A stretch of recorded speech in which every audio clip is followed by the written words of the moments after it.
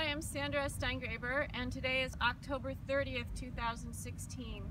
Um, we've traveled about 40 miles north and a little to the west, I believe, of New um, to a facility that is a bit giant distillery that uh, uh, in this area we were told um, it's mostly gas that's being fracked and all the different gases have come to this place to be separated.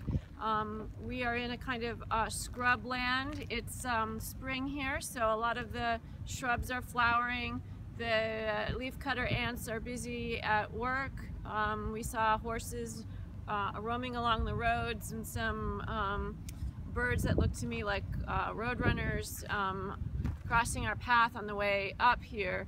So this is uh, Mapuche land that is otherwise used for grazing, um, but we now um, have seen the contamination that's been created by the oil and gas infrastructure here.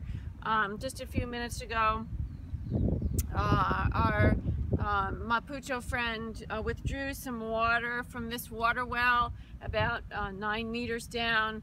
Um, it came up and clearly had a layer of uh, golden hydrocarbons on the top of the water. Um, we poured that water on the ground and could easily light some uh, dry brush uh, on fire. It was uh, flammable water.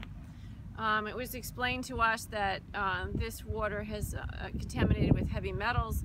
It hasn't been sufficiently remediated.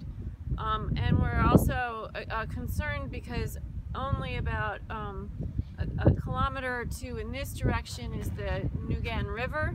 Um, and over in that direction, just a kilometer or two, are the lakes um, in, that have been dammed up, which provide the drinking water for the major city of Neuquén. Um, so a lot of vulnerable water here.